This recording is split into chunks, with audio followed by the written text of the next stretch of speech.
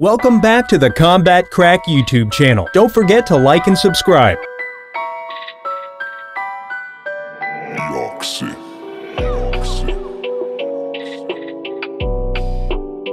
Rashad Evans doesn't see Tyron Woodley losing to Jake Paul, but also expects a good showing from the YouTuber. Speaking on the boxing match set to take place August 28th, the UFC legend gave his thoughts on how it would play out. This one is tough for me because my heart is with Tyron. I really, really want Tyron to win, but I think that this Jake kid, I think he's got a little something. I think he's better than his brother Logan. I think Jake is better than his brother, and I think he may punch a little bit harder than his brother. He may be a little faster and things like that too. So I think it may be a little bit of a tough fight because of the fact he's going to be a little bigger than Tyron. But I can't see Tyron losing. I really can't see Tyron losing. This Tyron that is being engaged right now, I think that this is the Tyron that can go out there and show that he's the Tyron that he's always been. That he is the five-time defending world UFC champ and all those things. Tyron's got power. Tyron's got hand skills. Tyron's got all those things. So it's just a matter of if Tyron doesn't allow himself to be so caught up in the wild theatrics of it all, to get his mind away from what he needs to do inside the ring. Jon Jones recently revealed he would be back in action only when he's